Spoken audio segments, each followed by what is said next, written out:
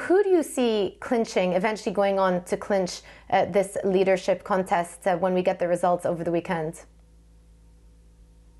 Well, this is absolutely uncertain. And if you look at the opinion poll data that was out over the past days, uh, general polling, but also polling of CDU members, uh, it is a, an extremely close race, and we shouldn't forget that uh, this vote is not cast by the members of the CDU, but by 1,001 delegates.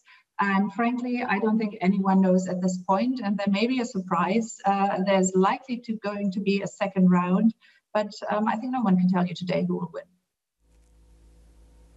So I've read some analyst commentary out there saying that if indeed Friedrich Merz is the one who ends up securing this leadership role, it could actually backfire in the sense that it will incentivize the left and the groups on the left uh, to be mobilized and show up in, in bigger force come the national elections later on this year.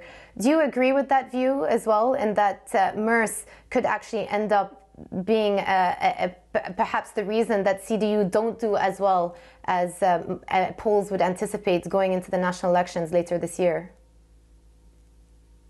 We'll have to see how uh, he, he, would position himself as a candidate for the chancellery. Right now, he is running in the race for the party chairman, and he is the outsider in that race because the two others are holding political office and are very much on the media every day. Friedrich Merz uh, hasn't held political office for, for years, and he now has tried to really distinguish himself both from Chancellor Merkel and also from the two others. But once he is elected and he runs for the chancellery, he will possibly move a little more towards the center.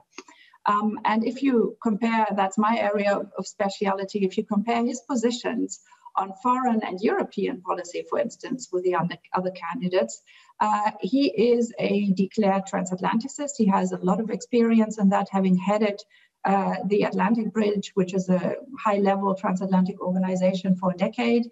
And on Europe, he is fiscally uh, quite conservative, and that could indeed uh, be a point that distinguishes him strongly uh, from uh, the political left in the race uh, for the chancellery.